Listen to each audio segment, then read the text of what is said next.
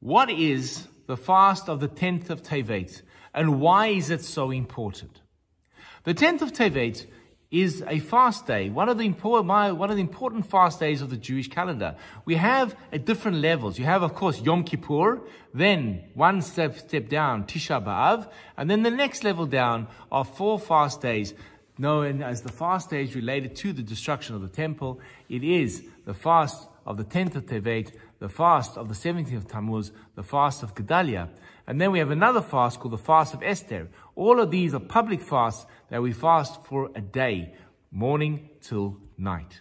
There's an interesting rule that says like this, that if a fast day falls on Shabbat with the exclusion of Yom Kippur, that fast is either delayed to the next day, like Tisha B'Av, it falls on Shabbat, or is pushed back earlier, as in the case of the fast of Esther. If, however, the 10th of Tevet falls on Shabbat, we would have to fast. That cannot happen because we have a fixed calendar. However, it does sometimes happen that the 10th of Tevet can fall on a Friday and we have to fast into Shabbat. And the question is, why is the 10th of Tevet so important that we have to fast? So first of all, we have to understand what happened on the 10th of Tevet. On the 10th of Tevet, Nebuchadnezzar, the king of Babylon, besieged the walls of Jerusalem. It was the beginning that were of the end of the first Jewish Commonwealth. It would ultimately lead to the breaching of the walls on the 17th of Tammuz, or the 9th of Tammuz in the case of Temple 1, and the destruction of the temple on the Tisha B'Av. So what is, makes the 10th of Tevet so important? And I would like to offer you a new insight that I just heard this year. The classic answer to why we fast on the 10th of Tevet is to learn the lesson of what of, of, striking while it is still you've still got a chance. Had the Jewish people at that time said, Whoa, the writing's on the wall. We are in serious trouble over here. Nebuchadnezzar is coming. He's going to destroy the temple. Is it worthwhile continuing the fight? We can at least save the temple, save Jerusalem. Maybe they would have changed direction, repented, and things might have been different. But I heard a beautiful insight this year. And it said like this. The 10th of Tevet is so important because we have to remember something. At the 10th of Tevet, that fateful year, the temple was still standing. And in Shamayim, they were debating, do we allow the Jewish people to keep their temple or is it going to be destroyed?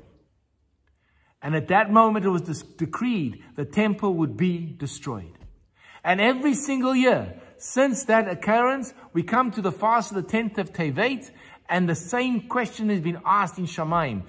Do the Jewish people deserve a temple this year? Will we be granted the miracle of the temple? And for the last 2,000 years, the answer has been no, because of the sins of Sinat Chinam and Lashon Hara, etc. If that's the case, and we know that part of Judaism's uh, rituals and part of the way that we serve God is with that temple.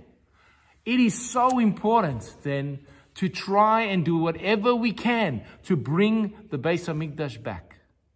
And thus, the 10th of Tevet is that day in which we are ob obligated and asked to uh, bang on the gates of heaven and say, enough Hashem, please let this year be the last one where there's no Beit HaMikdash.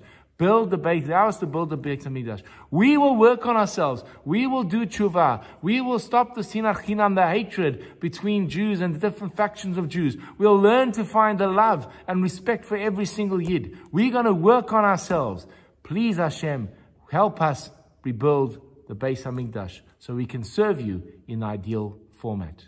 Thus, the 10th of Tevet is not just any fast day, it is a critical fast day so important that the rabbis decreed that if it fell on Shabbat, you would have to fast on Shabbat.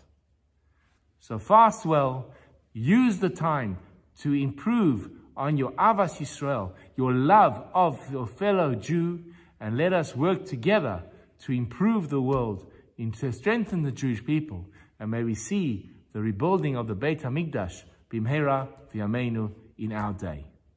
Bye.